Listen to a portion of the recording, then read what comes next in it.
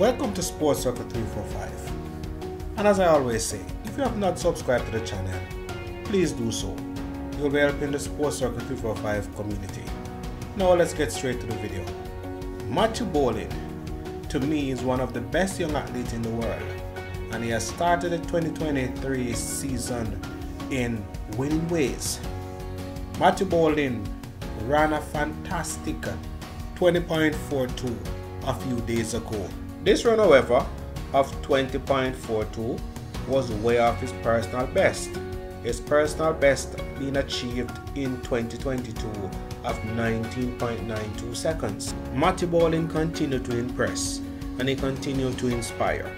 I hope his 2023 season will be one that is injury free and allow him to maximize his full power so that he can reach the pinnacle of his talent.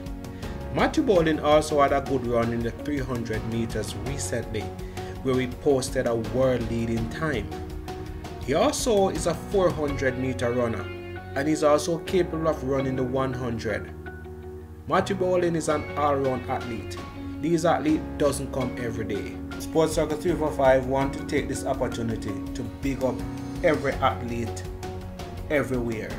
If you are from Jamaica, the United States, the Caribbean, big up and bless up because you are running on the track and you allow us to enjoy and to cheer for our favorite team. God bless you. Continue to do your thing. Sports Circle would like to thank all its subscribers at this time. Continue to support the channel, continue to watch the videos, and continue to be our cheerleader.